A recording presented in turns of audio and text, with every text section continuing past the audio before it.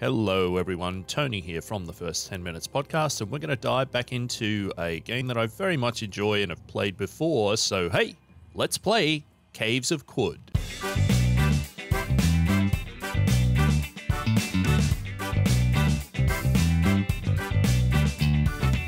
So some time ago, I uh, I played Caves of Qud uh, in the Ironic Adventures of Blanc the Unkillable. I'm trying out a different character build this time, uh, rather than leaning into a uh, a mutated human with a lot of physical mutations. This time around, we're going uh, for an Esper, so we have a lot of uh, a lot of mental mutations.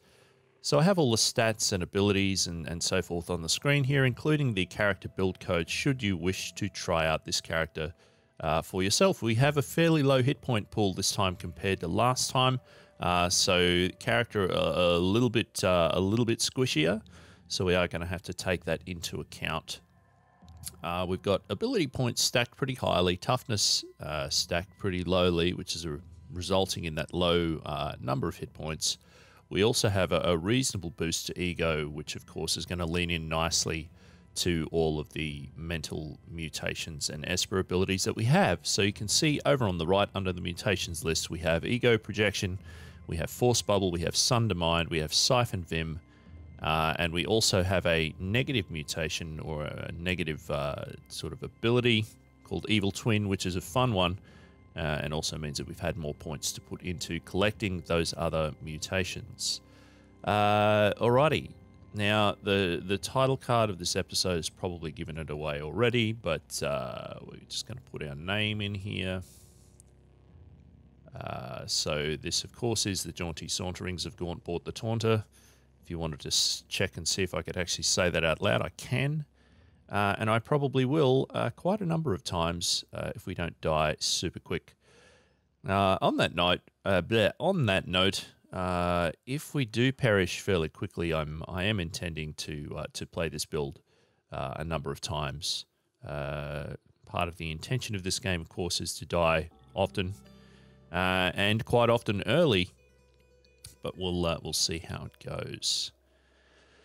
All right, so it is the 14th of Tishru, uh, Eux Interesting. And of course, as always, we're starting in the oasis hamlet of Joppa along the far rim of Moghra'yi, the Great Salt Desert.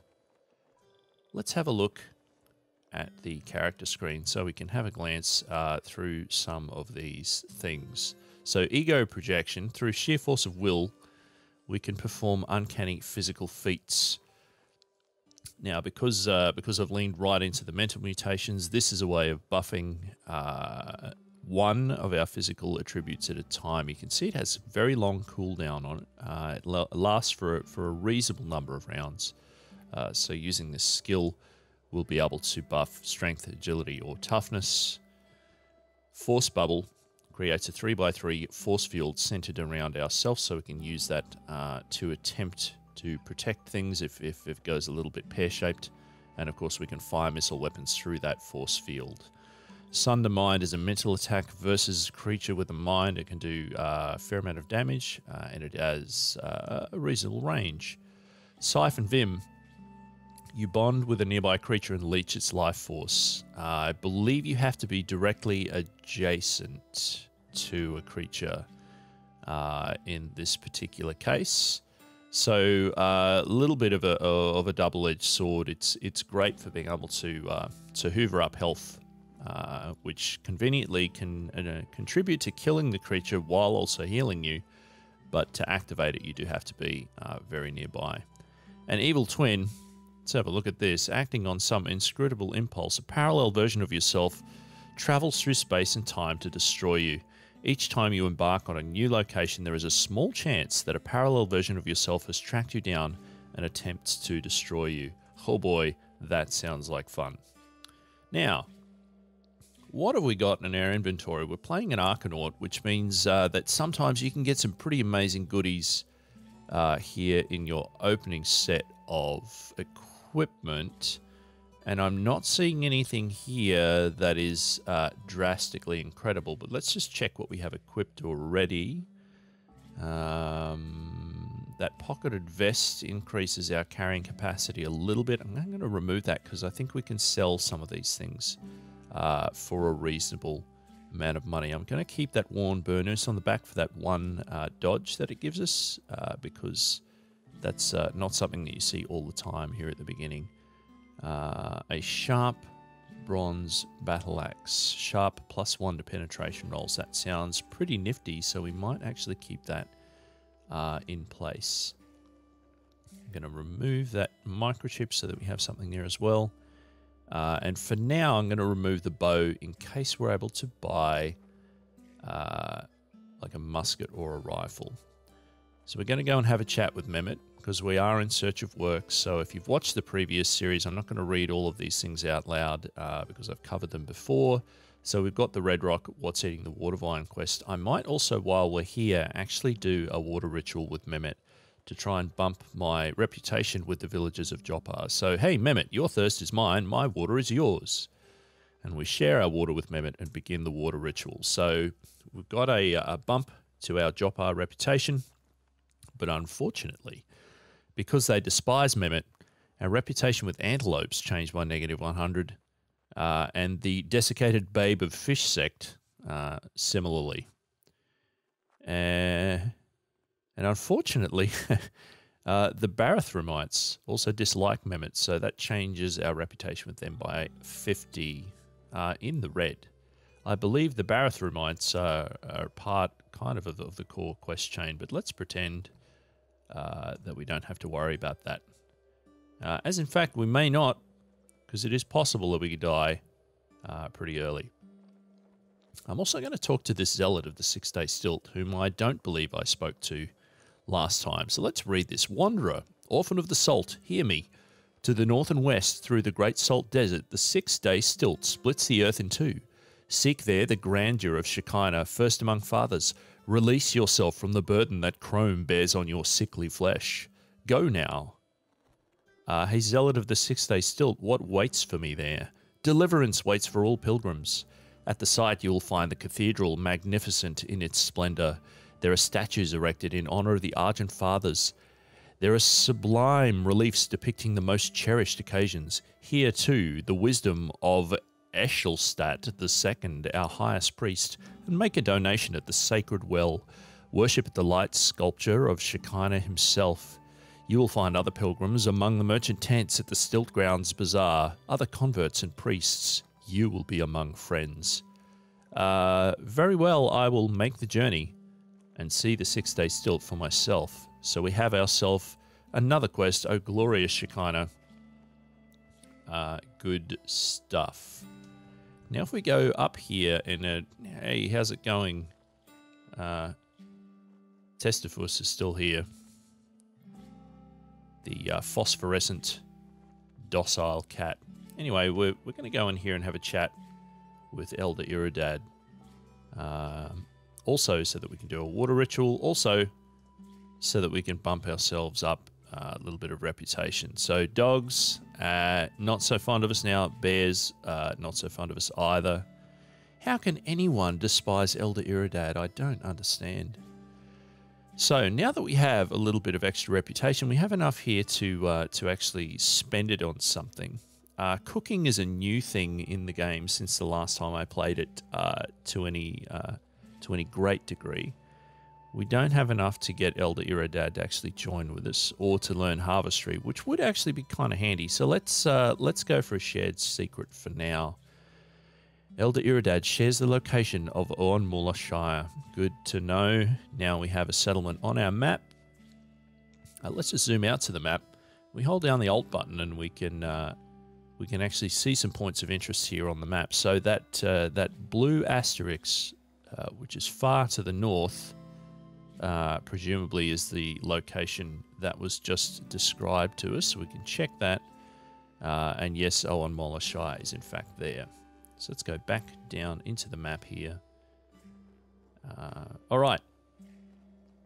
So in customary fashion, uh, I'm going to steal from a bunch of chests because as long as we don't get spotted, that's the thing that I can do. 29 drams of wine uh, is going to get us a pretty penny. So I'm actually quite happy with that. We'll take these arrows.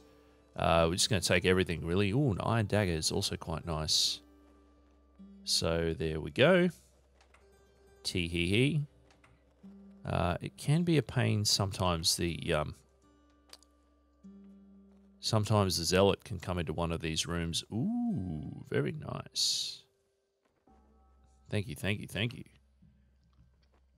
Yes, sometimes the uh, zealot can come into one of these rooms here, which uh, makes it quite hard to loot things. But they're not here now. Black robes, wine wafer, torches, mm, things to sell, I guess. Uh, it's better than nothing. Was there one in here? There was not. We're going to also remember to go up here to the statue and have a look at it because it's going to give us the location of the Gardens of Amur. So that's gone onto uh, our map, and we have a new quest: visit the gardens. Yeah, visit the Gardens of Amur. Uh, groovy. Let's also check that one. That's uh, much closer by to the northeast, kind of in between Red Rock uh, and the Rust Wells. Good, good, good. All right. Uh, I'm not going to go to Tam, the Dromad Merchant, quite yet. We're going to zip ourselves over here uh, to Argyve. Let's just check. I don't think there was anything in here. No. Oops. Also, no. All right. Let's have a chat to Argyve so that we can get uh, this other quest. Mumble Mumble, where can I find such a cave? I'll get you a knickknack. We already have a knickknack, uh, which I'm assuming is this small gold flecked tube. Five cooking servings. Now, because that's related to cooking, I actually have no idea what that is uh, or how uh, quote unquote good it is. Let's uh, let's then zip over to Tam so I can see how much I can potentially sell that thing for. Because we want to get the the most out of things that we're able to. Now, if I remember correctly, Tam isn't actually a member of this uh, faction here, so I should be able to loot this. Haha, handy uh, without it being a problem. So we just got two weird artifacts there, uh, which are totally things that count as uh, as knickknacks for Argyve. Anyway, we're going to open up the trade here with the tab button and have a look and see what we've got. Um, okay food wise, we definitely need some more of that. So let's grab those. We'll grab that bear jerky as well because it will last for a fair while. Uh, going to take all those bandages. What have we got? Oh, a carbide longsword. That would be nice, but uh, I don't think we can afford that right now. Aha! Oh man, a desert rifle. They're super duper handy. Uh, but I'm probably not going to be able to afford that. We might end up getting that musket, however. Right, what have we got to sell here? Um, hang on to those arrows for now. Uh, we'll sell that. Keep the cloth overalls to wear them.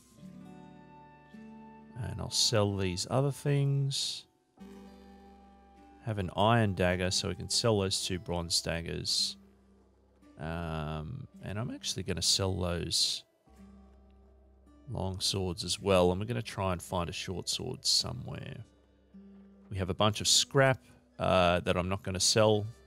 I'm going to sell that buckler. So this scrap is going to be part of our tinkering because that's one of the skills that we have. Uh, and that 29 drams of wine is also a thing that I'm going to sell. Right. So we have nearly 105 drams on the table. Uh, Tam has about 23 drams on the table, so we can afford to get some things. I'm very tempted to get that desert rifle. Is there anything else here that we need? Gonna have to buy some lead slugs, but that won't cost too much. Uh, that wide brim hat would be nice, but it's not really worth the money at this point. So if we're going to buy that uh, rifle, we could probably pop that short bow on the list because we won't need it, which means we can also pop these arrows on the list because we won't need it. And that small gold fleck tube is worth a moderate amount. So I think I might actually try and hang on to that. Alright, so we're going to grab all those lead slugs and we're going to get ourselves that desert rifle. We're going to have to give Dram a little bit of water, but that's fine. And uh, now we're going to go back in here and we're going to put these things on. So we'll equip uh, that. And we'll equip that. And we'll equip that. Cool, cool. So just quickly, so we can have a look at, uh, at tinkering. I don't have any item schematics or mod schematics yet, but if uh, if you look in the BitLocker there, we've got all of these different colored uh, pieces of text of all these different sorts of components that we can find. And having a look at these things here in our inventory, because we are a tinker, you can see the uh, the colored letters uh, in the alligator uh, brackets at the end. So we can get items, we can break them down into, into bits, uh, and then we can use those bits to build other things eventually. So here under the desert rifle, you can see in the alligators that it's uh, DC2. So those are the various things that uh, we have the possibility of breaking it down into later. So I'm going to load that desert rifle so I don't forget to, because that can be a pain. Uh, and the convenience of a desert rifle is that it can fit six rounds of ammunition as opposed to a musket, which is only one. Uh, okay, so nothing on our hands or feet, uh, nothing on our head or face at this stage. Now, with the build that we've got, if you look over on the currently on the left in the stats there, you can see the AV or armor value is one, and the DV or dodge value is 14. So this being a, a much more dodge heavy build uh, than an armor heavy build. Uh, and that's that's all right, but uh, we have to be careful if we get grabbed by something like a jilted lover, uh, you know, in some thorny tentacles that can continue hitting us. Uh, your dodge kind of goes out the window, uh, and you end up dying really fast. Similarly, if you get spiked by a young ivory, which is how I most often die with low hit point characters, not great. So we have the option of giving one of these three things here. We don't actually know what those weird artifacts are yet. So now that I'm thinking of it, we might actually go into Argyve's uh, screen here. And we're going to try identifying them. It's going to cost us a little bit of water, but that's fine. Compass bracelet, interesting. And we also have a poison gas grenade. What's this going to do for us? Chance of becoming lost reduced by 10%. I mean, that is kind of handy, but, uh, hmm. a puzzling artifact. Thanks for the tip. Uh, we're just going to give that bracelet and the poison gas grenade, I believe. So there's the first part. He's going to ask us to find another knickknack, which we already have. So let's get that done as well. We'll hand over the bracelet. That should give us enough to level up. Yay! We've gained a new level and are now level 2. We gained one hit point. Uh, it's nowhere near as much as Blanc the Unkillable would have gotten, but that's okay. 74 skill points, one mutation point. Yay! So this means that Argyve is going to give us uh, the Copper Wire quest, where we have to go to the Rust Wells. Hey, hey.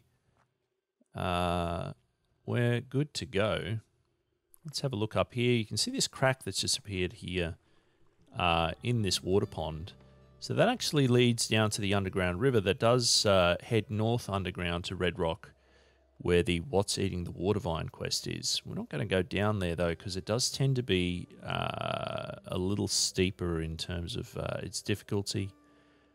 Uh, and that's not what we need at the moment. All right, we have discovered a rust bog here to the north of town. So this is some form of natural feature. I can see a chest up there that we're definitely going to go and have a look at. And of course, we can also see all of uh, these kudzu as well, which uh, have the ability to rust things uh, if we get adjacent to them. And we definitely don't want that uh, because we don't want our groovy gear to get rusted away. Um, you may or may not have noticed that uh, that weird little explosiony thing because I am an Arconaut. I can actually rummage through. Uh, I can actually rummage through uh, piles of stuff and potentially find items. So I did just find a fractured microchip there, which is nice. Uh, I just need to make sure. Ooh. Good, good. What is this? A puzzling artifact. Thanks for the help. You make some progress understanding the small sphere of negative weight. That's kind of groovy. Uh, going to grab all these things. Um, and I think I'm also going to... Whoops. Oh, there's another chest over there. Also going to try picking up... Oh, it's a rust chewed locker. That's why it's red. I thought it was just covered in blood. Silly me. Um, let's have a look at this other chest then. Make sure we approach it in a direction that we can't... Uh, oh, look at all these goodies. This is tremendous. I like this rust bog, provided that there isn't anything wandering around in it that can kill me. So this is possibly a, a, a great opportunity to point out uh, one of the many, many reasons why I love this game so much. Uh, this rust bog is uh, is part of that good old random number generator, uh, throwing up something cool that you don't always see in the game. So the way that this game uh, handles and utilizes randomness is is pretty nifty, and I very much enjoy the ability to uh, to even in the early game uh, play things that uh, that could feel familiar. There is another chest over here. Thank heavens that I am so pedantic in checking. A small box. Ooh, and it's also in blue. Whoops. I grabbed all of it. Let's have a look. What are you going to tell me? A puzzling artifact again. Uh, is it possible? I don't think I'm good enough to uh, to investigate what it is. Were there any other chests that I didn't see? It doesn't look like it. So there's some there's some real neat stuff there. Uh, I might actually head back and see if Argyve can uh, can identify some of this stuff. So yes, the uh, we don't have a don't have a torch in our hand. Hang on. All right, now we can see when it's when it's night time.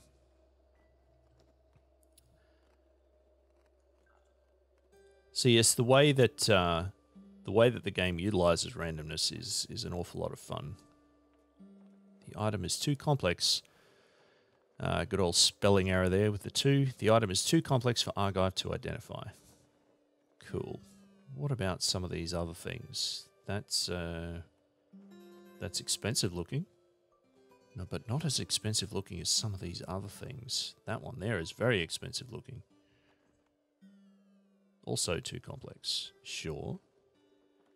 I'm going to guess then that the cost is related to whether or not... Yeah, that seems to be the case.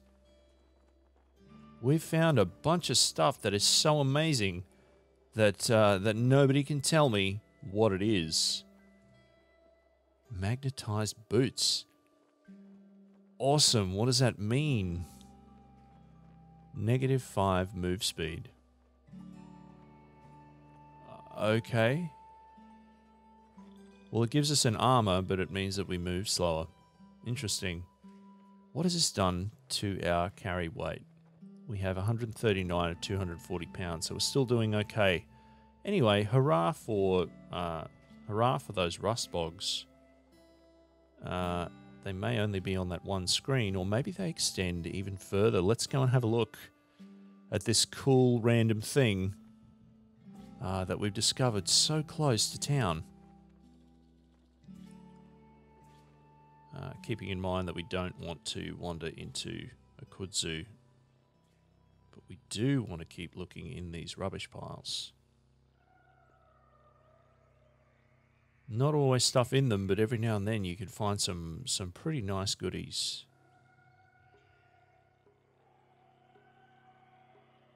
All right. Doesn't seem that we're still uh, rust bogging anymore.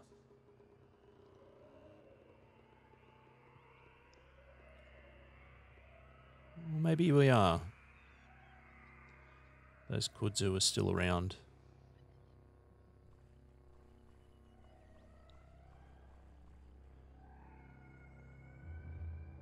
Gone all quiet here because I'm trying to make sure that I don't uh, let my enthusiasm get the better of me and, and start barging around too quickly. Is that salamander? No, it is neutral to us. Sometimes uh, various creatures uh, can have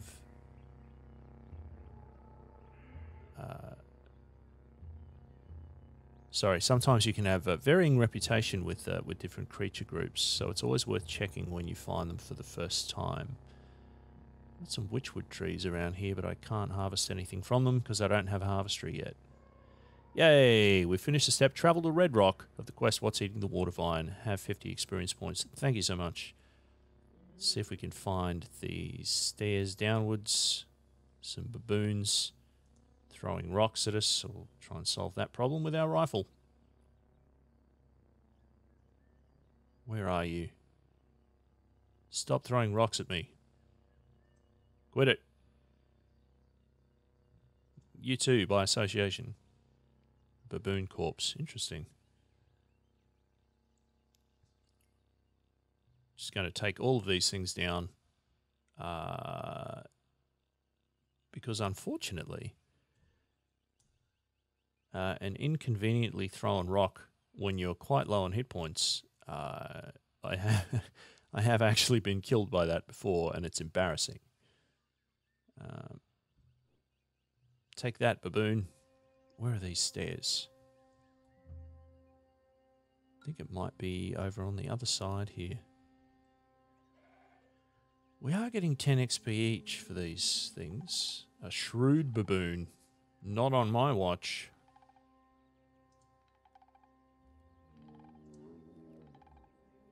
Fifty XP for the shrewd baboon, and we're down to half our hit points. Ow.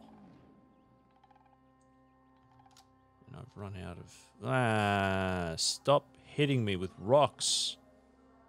I'm so sick of this. Okay. I tried to do a, a, rest until healed, and instead now I'm I'm nearly dead. Let's get out of that screen with those pesky baboons, or they're following us. This is not good. Now we can rest until healed. Good job, Tony. Hey, get out. Sometimes these baboons are uh, are pretty trivial to deal with, and other times, if there's enough of them at once, they're a real pain. Ow! Quit it. I believe that was alright. It's another one done. Where are you getting all these rocks from? Okay, there are the stairs, so that's a that's a good sign. Down to seven hit points now. I'm really glad we have this uh, this rifle, folks. Otherwise, this would be quite the inconvenience. So as the dawn's coming, we're able to see further which is uh, certainly to our benefit uh, at this point in time. There we go. All right, let's get those hit points back. And let's check if that goat is hostile. It is not, thankfully. Ah, more baboons. We're going to try and take care of all these baboons before we head down those stairs because it's not uncommon to sometimes have to flee back up the stairs very quickly to get away from things that are down underground. Any more baboons here? Anyone? All right. Good job. We're at uh, we're at full hit points, and we're ready to descend uh, into the caverns beneath Red Rock. Here at the start of uh, of this hopefully long-running and highly successful uh, campaign so, if you are enjoying this, uh, please give the episode a thumbs up. Uh, if you're returning to this from the previous uh, Caves of Qud Let's Play, thank you so much for joining me again. It's a pleasure to have you here. Uh, you can also subscribe to this channel if you'd like to be notified when other episodes are released.